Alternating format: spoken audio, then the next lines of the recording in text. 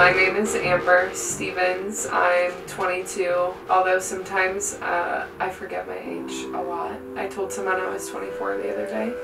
Um,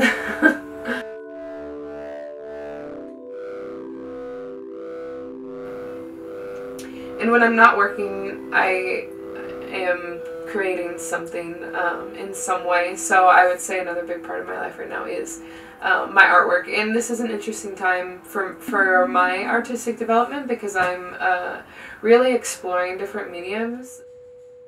Uh,